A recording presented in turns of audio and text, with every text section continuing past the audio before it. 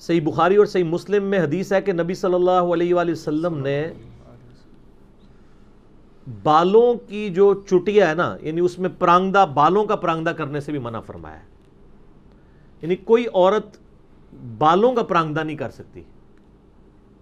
जो चुटियाँ बनाते हैं ना तो अमूमन हमारी औरतें तो जो बूढ़ी औरतें हैं, वो इस्तेमाल करती हैं। यानी उन्होंने वो ऊन का या वो धागे की बनी हुई एक चुटिया है, वो साथ जोड़ लेते हैं। वो तो बिल्कुल जायज़ है। लेकिन औरत के बालों में औरत, दूसरी औरत के बालों का करना ये हराम है। ये चूँकि अक्सर लोग मसला पूछते हैं तो मैं ज़िमन बता दिया कि जिस परांगदे की ममानियत आई है, अहदीस में वो बालों का है। बल्कि सही मुस्लिम हदीस है कि हज़रत माविया रदी अल्लाह जब शाम से मदीना शरीफ आए तो उन्होंने एक खुतबा दिया, उसमें उन्होंने एक बहुत बड़ी चुटिया अपने हाथ में उठाई थी, उन्होंने कहा कि लोगों तुम्हारे उलमा किधर चले गए हैं?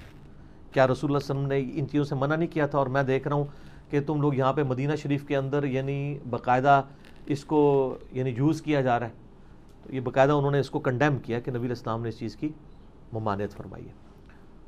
अलबत् जो आम परांगदे हैं वो बिल्कुल दुरुस्त हैं। इसी तरीके से अगर किसी के बिल्कुल सर के बाल ख़त्म हो गए मर्द के, और सर के ऊपर वो विग लगाना चाहता है, बशर्ते कि वो धोखा दे के कोई रिश्ता ना करना चाह रहा हो, इसकी वजह से। तो विग लगाने की भी इजाज़त है, और जो परमानेंटली फिक्स्ड विगें हैं, उनमें आपको वज़ू करने के लिए, गुसल करने के लिए उसको उतारने की भी ज़रूरत कोई नहीं है। कि आप कहेंगे, मैं उतारूँगा। इस तरीके से आप तो खैर उससे भी अच्छी चीज़ आ गई है, यानी हेयर ट्रांसप्लांट वाला मसला है।